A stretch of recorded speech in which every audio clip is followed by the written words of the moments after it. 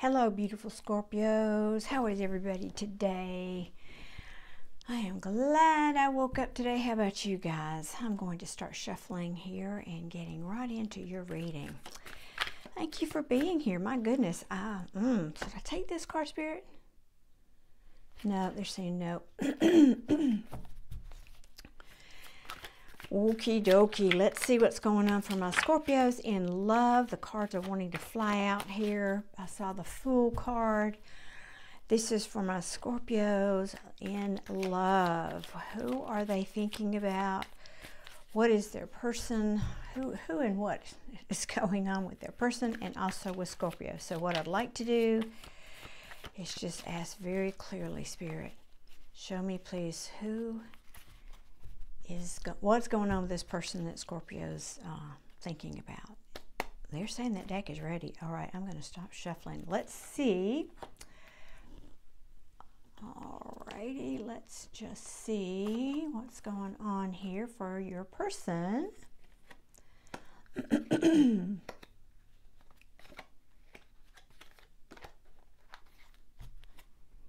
oh, well, there we go. There's your card, Scorpio.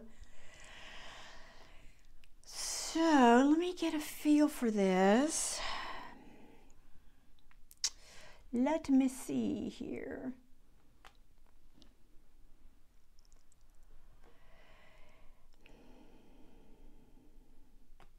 The Three of Pentacles means a lack of collaboration, something that they were hoping would come together, working with someone or thing, could be work also, but um, you know, this is a love reading. But if it is work, it could be influencing this person, obviously. So a lack of collaboration about something they were holding on to, but probably holding on too tightly to.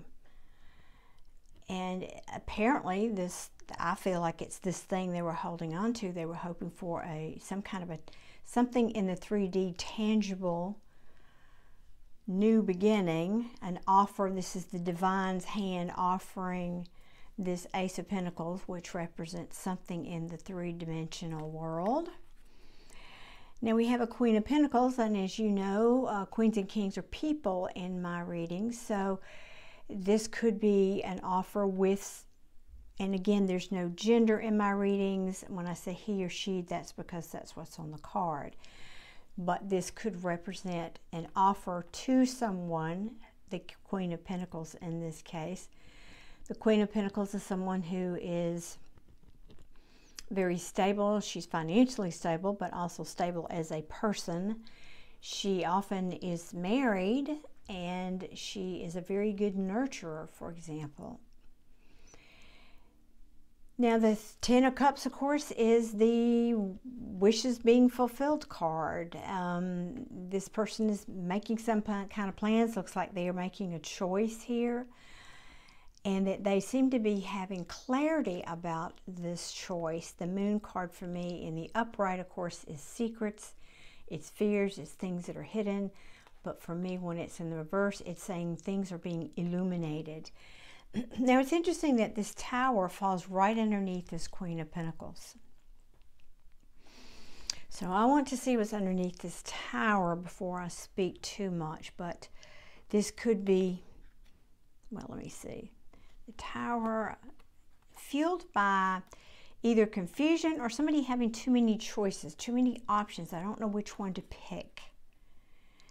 Hmm, something, okay, there.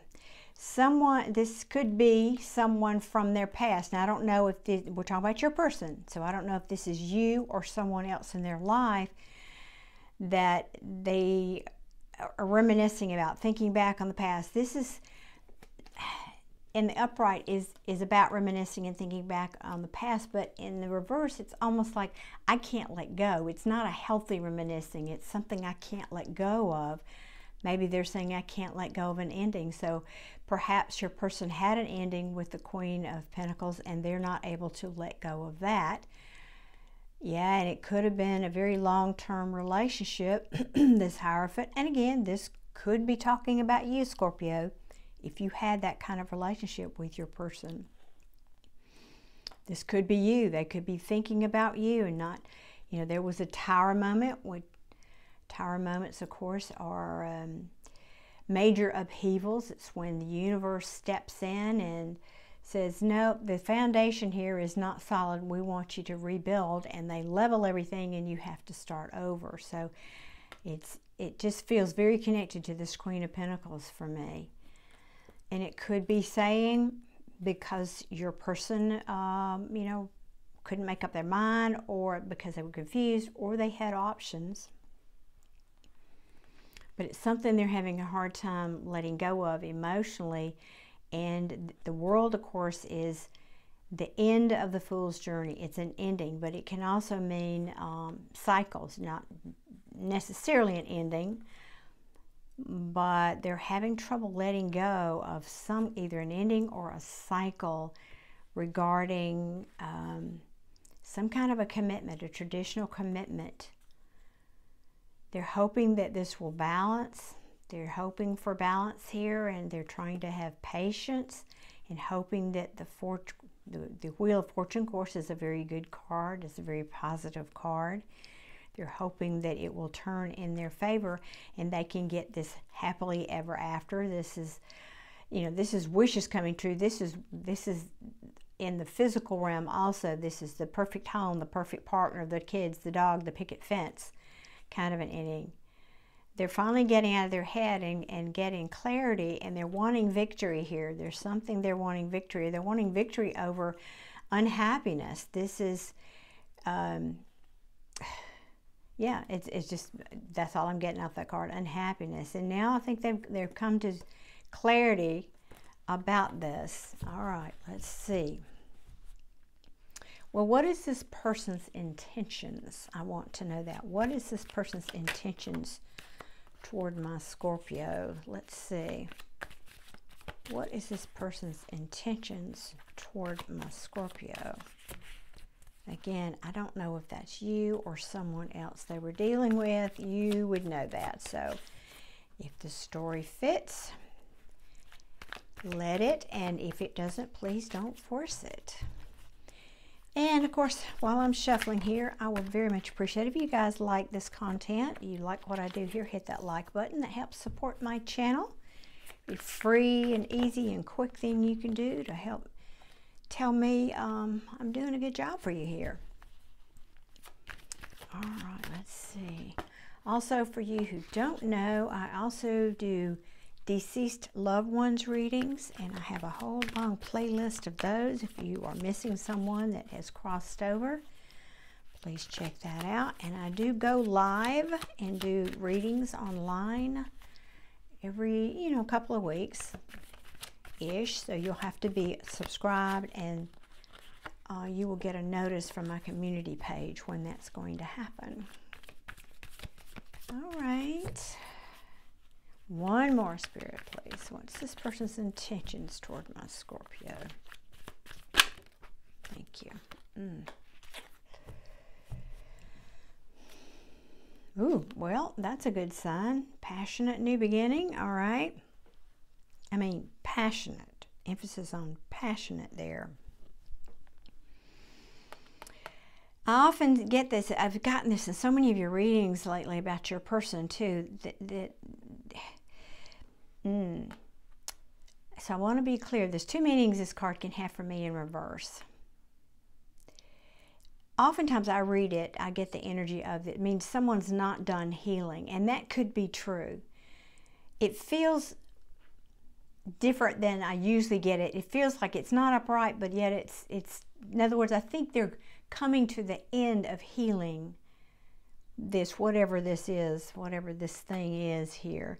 They're finally getting the strength back because we've seen this the strength card in reverse a lot lately. They're getting the strength back. looks like they very well can come to you with a love offer and bring their cup of love to you. This is very positive here. This is the card of uh, one of the cards of communication, the Page of Swords. It can also be a little bit of spine energy. Maybe it just means they're thinking about you. They could be, you know, checking your social media. it just can be overthinking. Uh, I mean, not overthinking, but daydreaming about you. And, you know, and how how they're going to come to you and give equally because this is saying balance. It's telling me they want balance. They want balance. Now, the hangman here tells me this is a timeout, okay? And this could be, you've got so many cards here that say this person wants to bring you this cup of love. And, and combined with this Ace of Wands, I'm having a hard time believing that they're telling me if, after all of these cards that your person's stuck. So I'm going to say this is the hangman is in this position. He was a thief, right? A criminal or whatever. And they hung him up to enable him to get a new perspective. And I believe that's what's happening here. I'm very drawn to this sort of halo around the hangman's head.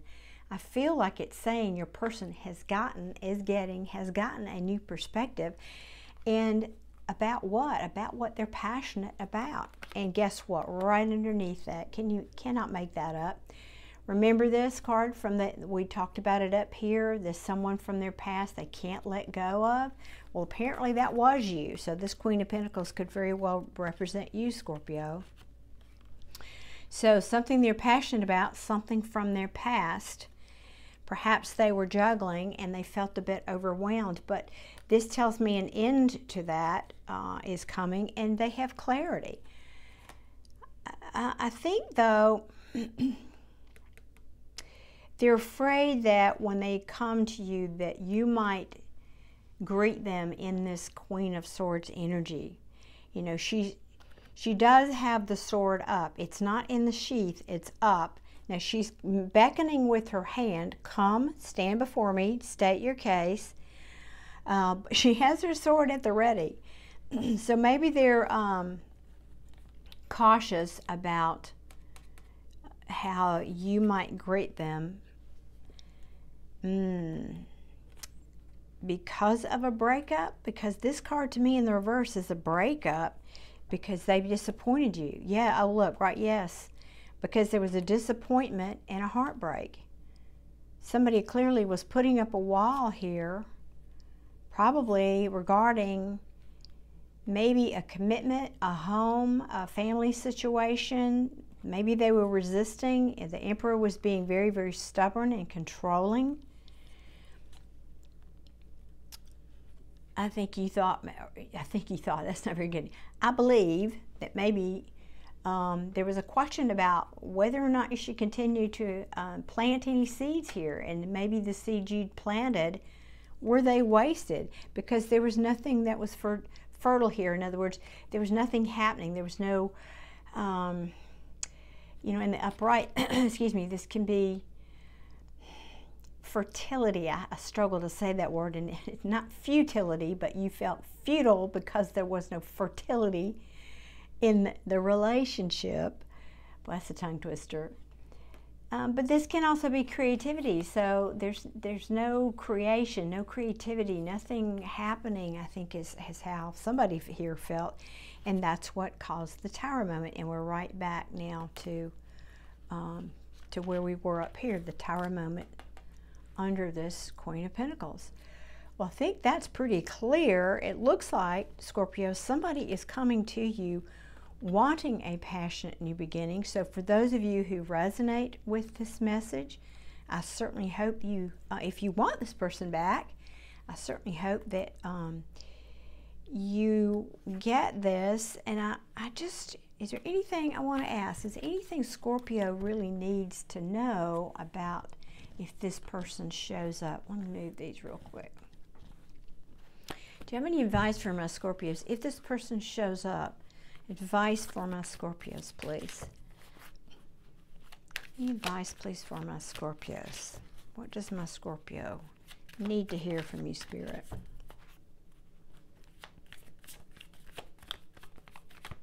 I'm saying stop. Yeah, get clarity. Don't overthink it. Know clearly what your Ten of Pentacles is, Scorpio know clearly. In other words, decide what you want before this person comes in. And I know we're between eclipse energies right now, but it's a very powerful time for manifesting. So I'm hearing Be sure you want this. Be sure what what you want, how you want that to look. Um, don't overthink it. Try to get clarity about what you want from this person and out of this relationship because you very well are going to get it. This Wheel of Fortune says that to me. Yeah, and if you don't want this in the upright, this is the happy home, the family, the potential relationship in the marriage. If you think that this is going to bring not bring you that, then you know tell your person you're not willing to invest. Now those cards are just repeating, but it felt stronger to me just these top cards here, these three cards. So be clear on what you want, Scorpio, um, and be willing to state your case clearly, like the Queen of Swords that came out. Um, not in an intimidating way, but just clearly state your state your case, state your boundaries. Uh, let this person know where you stand. All right, my beautiful Scorpios, I hope this helps someone out there. If it does, again, please show your appreciation and hit that like button and subscribe, and I'll see you all very, very soon. Many blessings.